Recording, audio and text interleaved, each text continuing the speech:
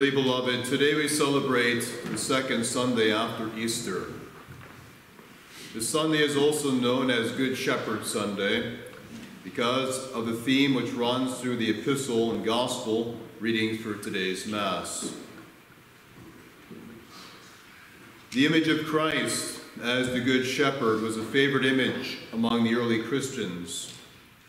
And one of the earliest Christian paintings, which is found in the catacombs of Rome, is an image of Christ as the Good Shepherd. Each of us, if we look, and most of us have seen an image of, the, of Christ as a Good Shepherd, who would not be touched by that image so tender, holding a lamb on his shoulders. The lamb is all of us. But why was this image so impressed upon the minds and the hearts of the early Christians? Well, to begin with, the image of the shepherd was one, a well-known image to the Jewish people. Not only were shepherds and flocks of sheep found copiously throughout the land of Israel, but God himself had portrayed himself many times in Holy Scripture as the shepherd of Israel. For example, in Psalm 23, God tells his people, The Lord is my shepherd, I shall not want. He makes me lie down in green pastures. He leads me beside still waters. He restores my soul. However, besides reminding the faithful that God is our good shepherd, there is another reason that this image is presented to us during this Easter time. This is the fact that during this Easter season, God, through his church, wishes to continue to strengthen the faith of the newly baptized and all of us as well. That is, that the risen Christ has come to fulfill all of the prophecies concerning the Messiah, and this included the prophecy of the Good Shepherd as well. Indeed, our Lord declared to the Pharisees when they accused him of changing God's laws, I have not come to destroy the law or the prophets, but to fulfill them. The prophecy of the Good Shepherd is found in chapter 35 of the prophet Ezekiel.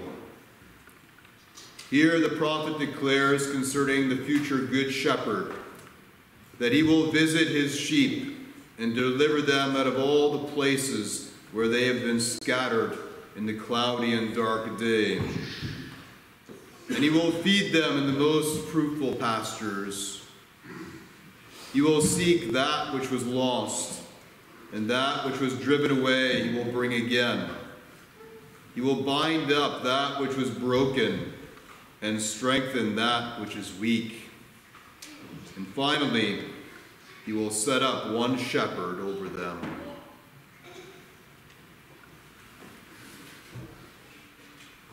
One can only imagine that if Christ had been given the book of Ezekiel to read instead of that of the prophet Isaiah when he entered the synagogue during the beginning of his public ministry, his words to the priests and scribes would have been the same. He would have said to them, On this day is fulfilled the scripture in your ears. Beloved, our risen Savior is indeed our good shepherd. He has sought out and found his rational sheep who were once lost. Those sheep are we, the people of his divine leading. Yes, he has bound up our wounds, our sins, through the shedding of his precious blood. He has led us to the fruitful pastures of grace, holiness, and the sacraments, which have as their ultimate fulfillment in the eternal pastures of heavenly beatitude. But even in our Easter joy, each one of us, the sheep, must ask himself, herself, with complete honesty, Am I one of Christ's sheep? how can I really know? What characteristics the Christ sheep have? In the parable of the Good Shepherd, which St. John gives us, Christ gives us two main characteristics which identify his sheep. The first is that they know him. According to St. Gregory in homily this day, this knowledge of Christ the Good Shepherd is not a knowledge of, through faith, but a knowledge through love. This is attested to by Christ himself when he says in the Gospels, Not everyone who says, Lord, Lord, shall enter into the kingdom of heaven, but he who does the will of my Father. And again, if you love me, keep my commandments. According to St. Cyril of Alexandria, this knowledge of Christ as a good shepherd also implies a relationship with him. And this relationship is not built on superficial emotions, but one that results from a participation of honor and grace.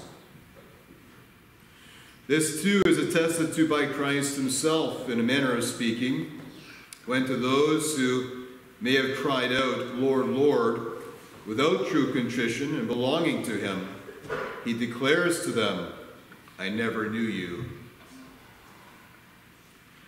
Thus, refreshed with the Easter sacraments, we must examine ourselves and consider within ourselves if we have remained in the love of our Good Shepherd and truly continue to be risen with Christ.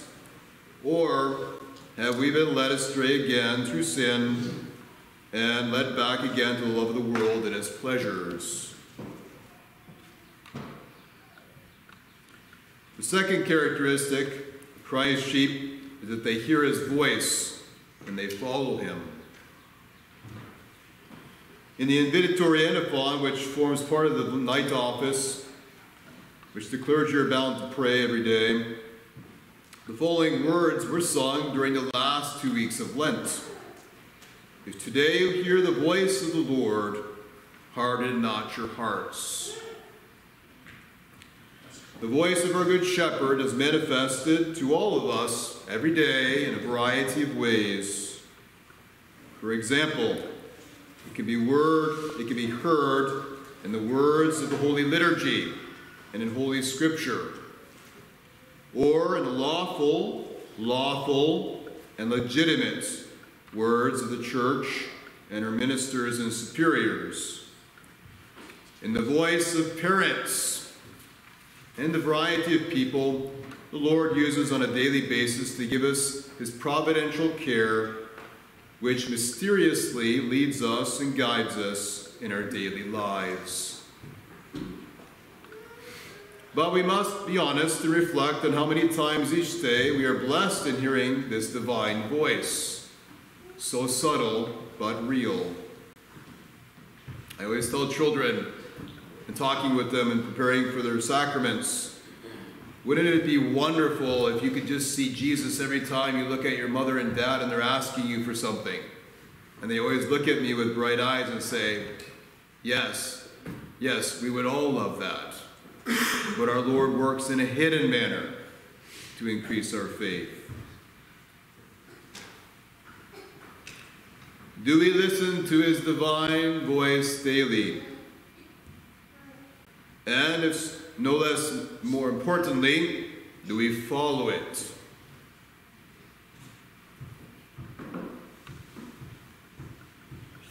One last thing concerning our Lord and the Good Shepherd, I know the faithful are very concerned about today, especially, is will be its connection to the pastors of the church. In is given for this day, I think there are a couple of points that are given by the fathers today that can help us in our struggles, at least in some respect. The first thing is that St. Gregory tells us today that we can only recognize a true shepherd from a hireling during times of trial. He says that it is only when a wolf comes around that each shepherd shows the purpose for which he has been standing guard over his flock. That is, as he's standing as a shepherd, it stays, or is he a hireling that flees?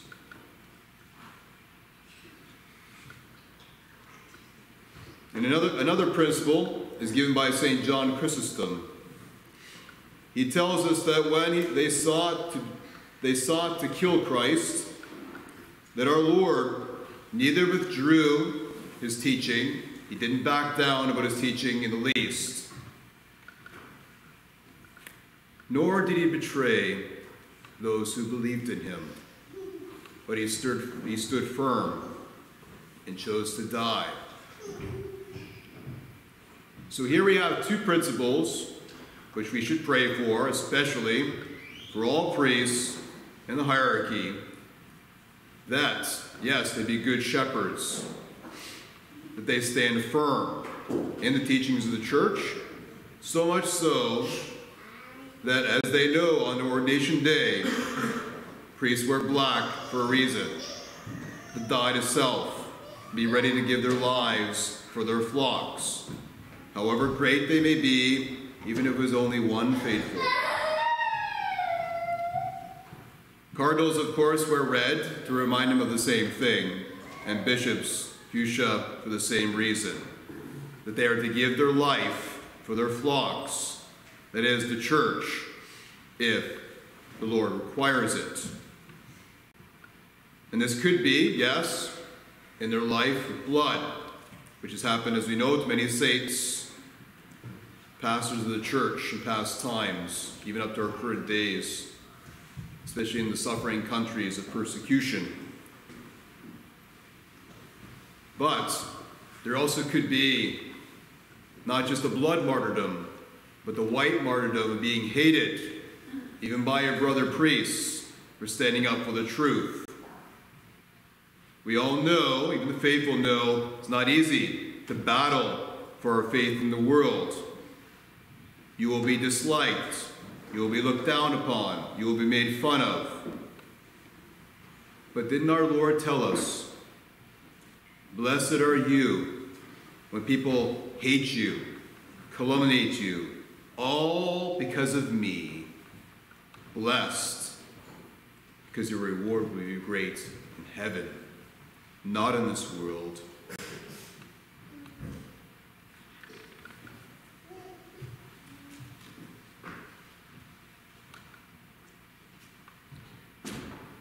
St. Augustine, in dealing with the Donatist heresy of his time, told his faithful as a bishop, as a bishop, when they wondered about listening or not listening to this or that, coming from the hierarchy at different times. This is a principle which you must keep in mind, must be followed, but you must understand what it means.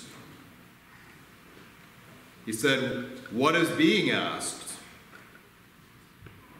And then he told his, his flock to consider our Lord's words to the Pharisees, about the Pharisees. He said, The Pharisees sit on the chair of Moses. Therefore, do as they say. That is, uphold legitimate authority and law which is given by God, which they are the, which they are the instruments of. But he said to them, Do not do as they do.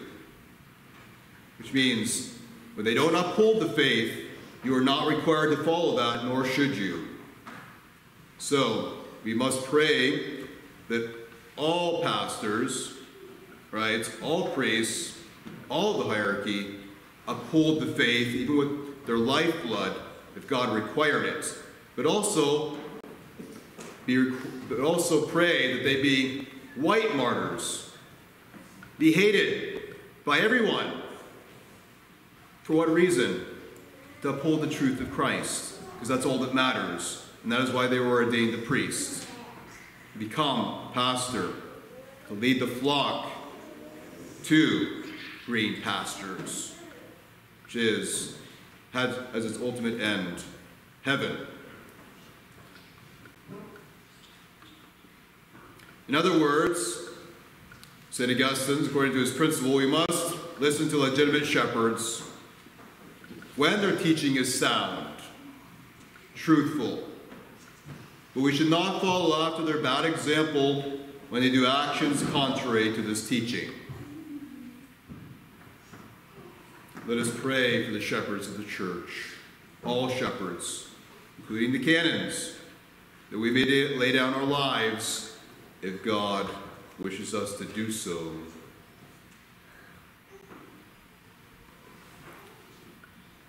Now, beloved, if we exhibit both of the characteristics in the parable of the Good Shepherd, that is, we love our Good Shepherd and we listen to him and follow him, we will truly be blessed indeed. The Lord ends his parable of the Good Shepherd, which should help us, these words should help motivate all of our actions. He says, I will give them life everlasting. That's all that matters. We want to get to heaven, and it is our Good Shepherd that leads us there. During this joyful Easter tide, beloved, we have been all refreshed with the Easter sacraments. And God grant it be so we have been more deeply converted, as St. Peter says in today's epistle, to the shepherd and bishop of our souls. May this image of the Lord as the Good Shepherd be impressed ever ever more deeply in our minds, hearts, and souls, and thus be made more attentive and obedient to his daily sounds in our ears. May our Blessed Mother, she who kept all the words of our Lord, her good shepherd, and pondered them always, every minute, in her immaculate heart. She followed our good shepherd wherever he went. May she continue to lead us to the pastures of God in glory, and this beloved, on to the ages of ages. Please rise